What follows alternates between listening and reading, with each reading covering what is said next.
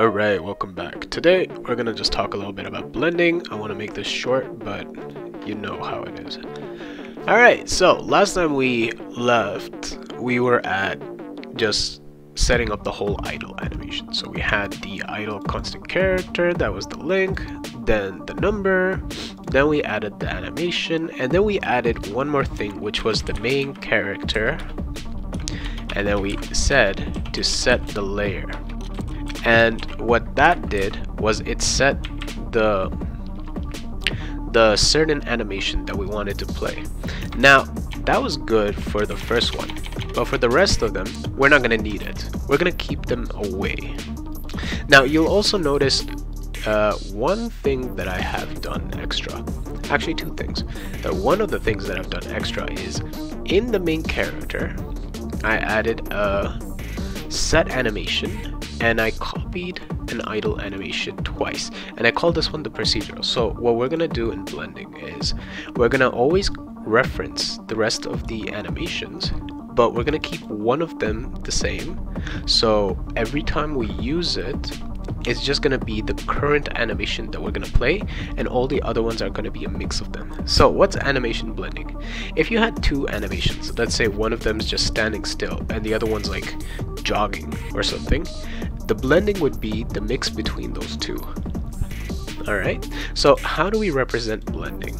Uh, we can represent it many ways, but I'll show you the easiest way. One more thing is if you go into the header, I added a float weight and I added a console message so it can be seen when we press play.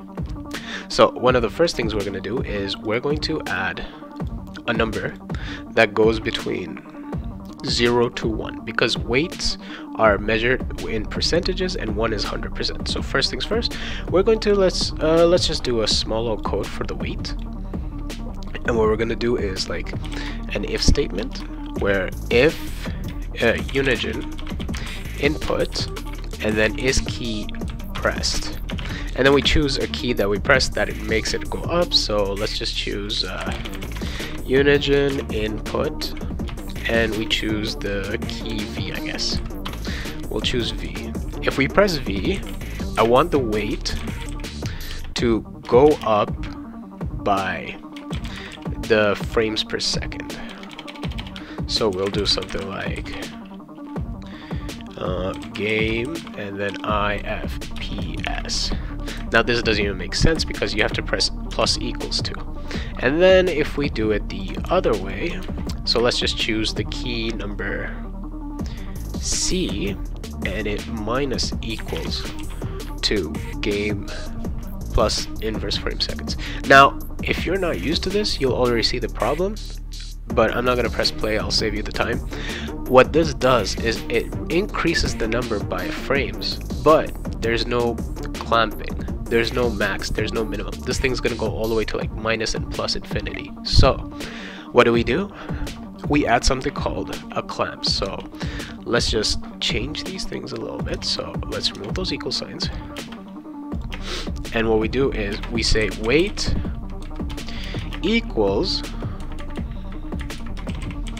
to and then we do something called unigine I can't type alright math and then we choose something called clamping now if we go here and just put these in brackets, you'll notice that it's gonna have an error because clamp has two, two to three arguments, I believe. It was three arguments. Okay, so what's clamping? The first thing is the number itself.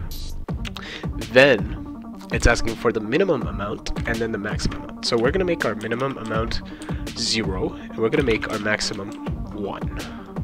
So let's just copy this down paste it here, and then we're gonna change this to minus. And then let's just press this, and that should fix everything. Alright, now that we play it,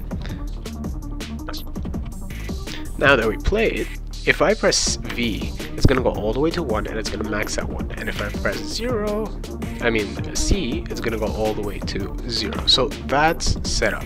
Now, how do I set this up? Well, actually, there's only one equation inside the main character itself. So if we just go into main character, or the object mesh skinned pointer, we have something called a lerp layer.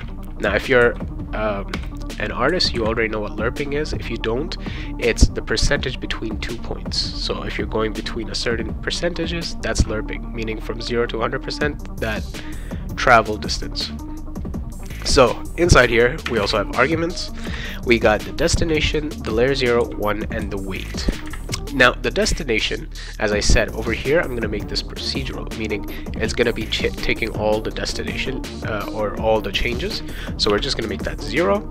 And then let's um, let's say we were walking. So if we press W, um, it's going to ask for the from to the to and then the weight. So this is the original layer and then it wants it to switch to this layer. So we're going to choose, let's say, 1 from idle animation to walk animation, which is 2, and then it's going to ask for weight. In our case, we're just going to choose our regular weight. So now as we change it, we're going to see the differences. So if I press play, as you can see, weight is 0, and the moment it goes to, let's say, a little bit, a little bit, a little bit. It gets closer to the jogging animation that we had. So as we get to 1, it's the original jogging animation, but as we get to 0, it's the original idle animation that we have.